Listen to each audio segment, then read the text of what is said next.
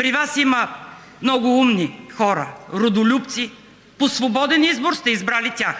И това заслужава уважение, ако сте го направили свободно. Но питаме Ви: Вие за това ли гласувахте – да дишате рак и да пиете отрова, да плащате скъпите лекарства – 150 лв. в общинска болница и 1050 в частна, да обеднявате, докато малцина от Вашите доходи богатеят? Гласувахте ли да се разгражда и продава държавата? Помислете! Ако днес се страхуваме, ставаме съучастници на този процес.